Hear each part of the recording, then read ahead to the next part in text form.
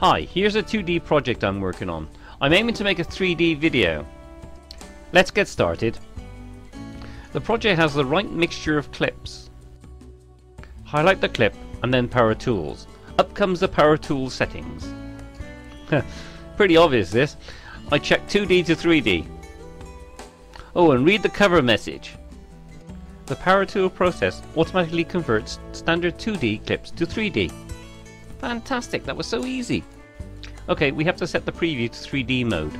And put on 3D anaglyph glasses. Notice the reminder image. Bottom right. Wow, you can see the 3D depth. Really cool. Preview 3D options depend upon your monitor and glasses.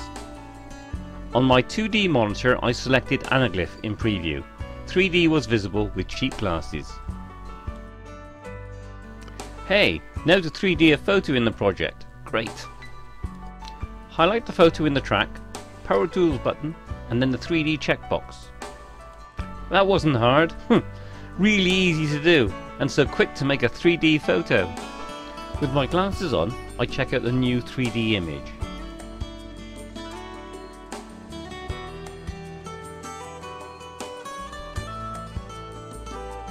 I want to play with the scene depth slider control, just to see what happens. I tend to opt for extreme adjustment in the sliders.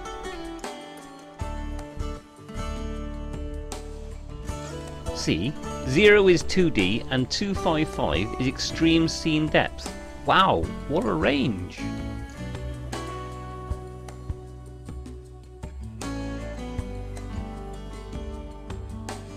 Each change on the slider generates a depth change in a photo or video.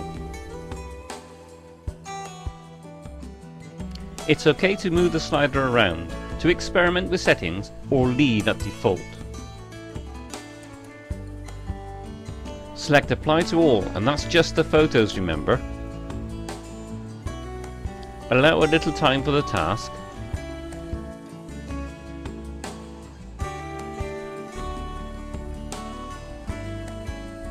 Cool, job's done, wow.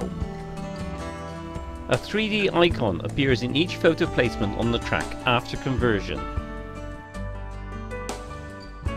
Right, we're ready to apply to all on the video now.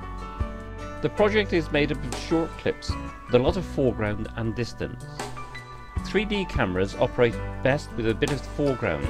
I've chosen a project with similar aspects. Heck, that was quick!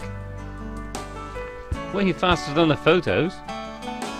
Distant videos may not give great 3D, even with a 3D camera. So far, in my experiments, I've been impressed with what PD10's 3D conversion creates. Right, I'm now ready to play with the Produce section. In Produce, select the 3D tab. I'm choosing MP4 because the footage is in that format and I have some 3D MP4s from a 3D camera. Selecting 3D output, now that'll depend on what your TV displays. I made all three formats and see how they display. Remember your special 3D glasses.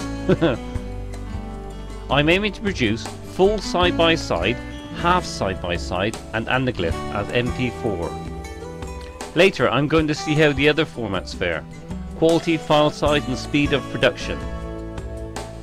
Now it's time to look at all three. Older graphics cards can restrict some PCs trying to display full side by side. Whichever you decide will depend on what your 3D setup is. For the moment, Anaglyph will do for me. Back to the beginning. I started with one short video clip and played around, then added a photo and did the same. I found moving the scene depth slider improved the 2D to 3D underwater clip I experimented with. My first rush was looking at a 3D bluebell wood. Truly amazing. I borrowed my son's high-res castle photo to experiment with and got a surprise. I was hooked. I'm sure you'll have fun too. If you have any editing questions, look up the Cyberlink forum. I'll be there. Now you have a practice. Have fun and enjoy your editing.